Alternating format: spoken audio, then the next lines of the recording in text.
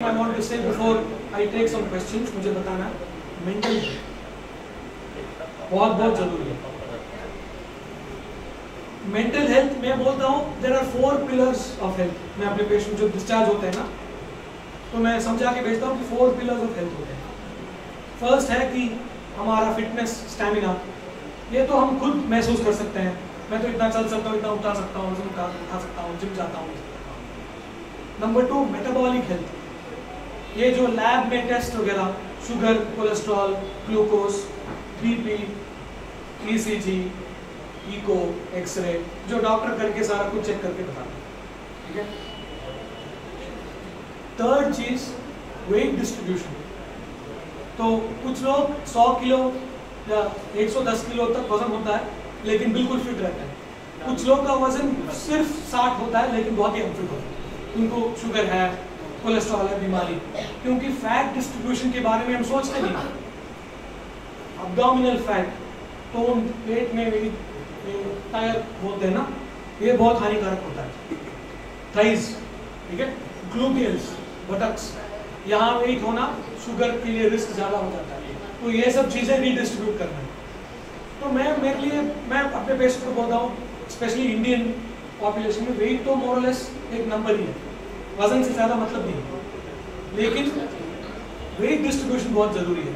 अगर आप वेट कम है लेकिन तोन ज़्यादा है तो फिर रिस्क उतना ही है आपका, जितना मतलब ओबीस मोटे पेशेंट को होता है।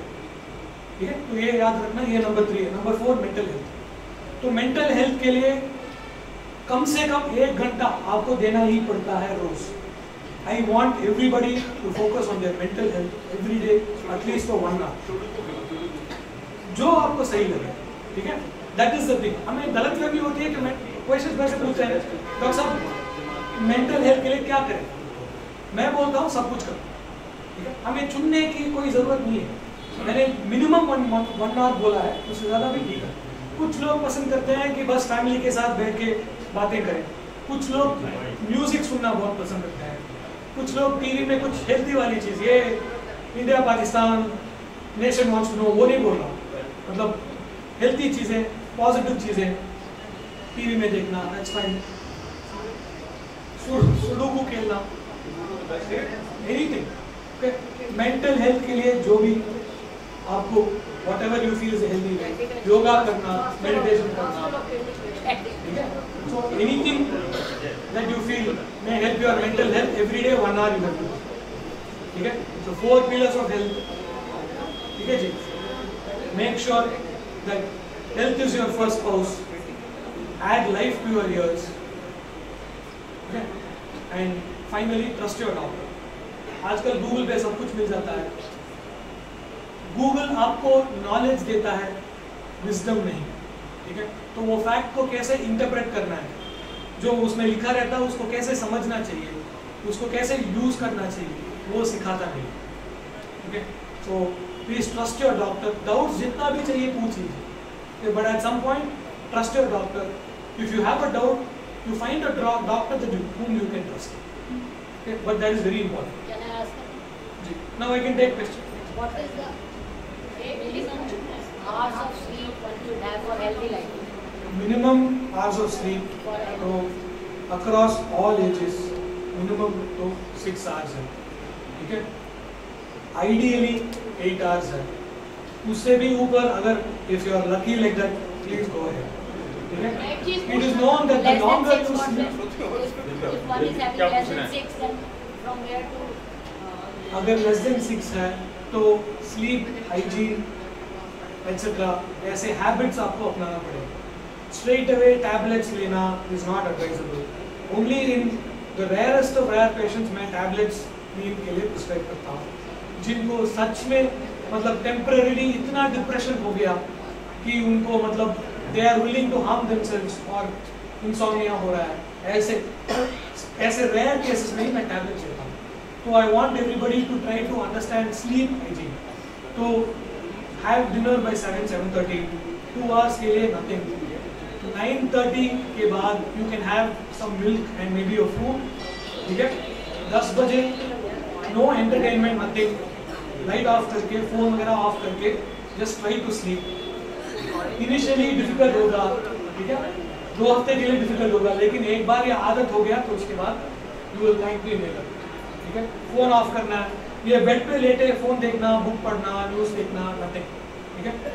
By ten nine thirty milk and fruit ten o'clock everything off lights off try to sleep दो हफ़्ते के लिए मुश्किल होगा, मैं अभी ऑन कर रहा हूँ, लेकिन उसके बाद you will feel much better sleep बिल्कुल टाइम पे आ जाएगी एंड पूरे एट आवर्स का स्लीप मिलेगी अनइंटरप्टेड स्लीप मिलेगी एक नया नया व्हाट्सएप ज्ञान सुना है अभी हमने खुश रहने का सबसे अच्छा तरीका यही है कि डॉक्टर और वकील को हम ना ढूंढे और पुलिस हमें ना ढूंढे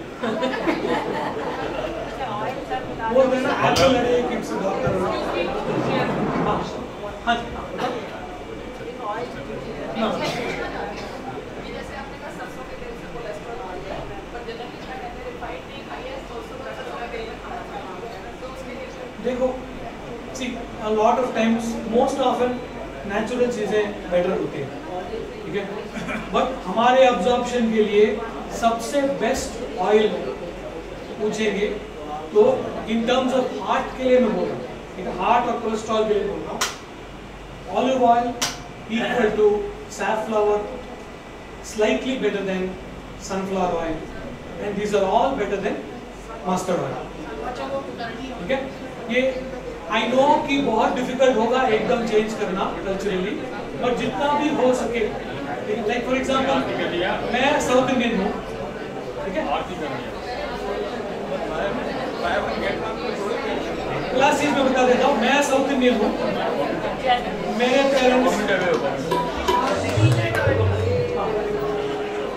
मैं साउथ इंडियन हूँ। मेरे पेरेंट्स कोकोनट ऑयल यूज़ करते थे, जो सबसे खतरनाक है। ठीक है या घी होता है या कोकोनट ऑयल है तो उनका कोलेस्ट्रॉल कुछ 200 पचहत्तर हो गया था दोनों का ठीक है? नाउ उसके बाद मैंने हल्का सा चेंज इंट्रोड्यूस किया। ऐसे एकदम आप चेंज नहीं कर सकते क्योंकि टेस्ट की भी बात है। देसी घी खाना चाहिए नहीं पूछ रहे पीछे देसी हाँ मैं बताऊँ ठीक है? तो कुछ चीज़ें का स्वाद बेटर हो जाता है। ऑलिव ऑयल और सैफलॉवर ऑयल यूज़ करने से फ़ूड डिशेस में यूज़ करते हैं सैफलॉवर सफोला फॉर्चून सफोला ठीक है देसी घी ठीक है? देसी घी यूज़ करना चाहिए। फल में देसी घी इन लिमिटेड क्वांटिटी लेना चाहिए क्योंकि गुड फैट की भी ज़रूरत है।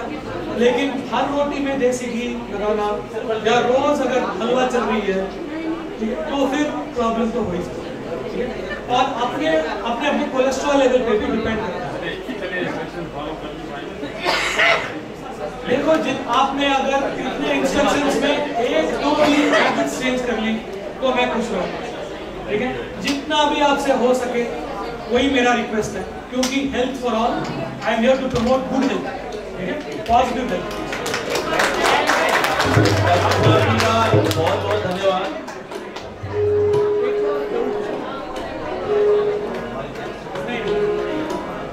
आपने जो हमारे इंस्ट्रक्शन दी है उम्मीद है कि लोग फॉलो करेंगे। Thank you sir